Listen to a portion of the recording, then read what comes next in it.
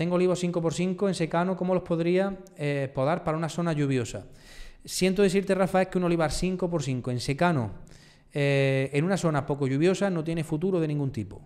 Ese olivar tienes que dejarlo a 10x10, no te queda otra un 5x5. Eso parecen, mm, vamos, como los... No, es culpa tuya. Es decir, que eso también lo veo mucho en Castellón, lo veo mucho en Valencia, donde la gente pone los olivos a 4x4, 6x6, a 5x5 y luego no crecen los árboles. ¿Por qué? Porque el volumen de copa es excesivamente grande para lo que se puede soportar con poca lluvia encima.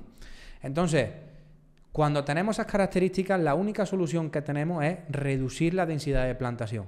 ¿Qué es lo que se hace en el desierto? Tener pocos árboles por hectárea. Pues cuando nosotros tenemos factores limitantes, como es la lluvia, nosotros tenemos que aumentar o reducir nuestra densidad de plantación.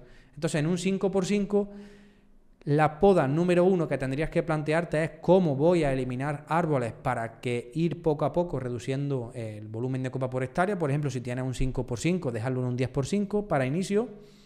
Y la segunda actuación sería el pie que yo sé que va de muerte, lo voy castigando para que mi pie de vida se vaya poniendo grande. Entonces, al final esto se trata una competencia por la luz.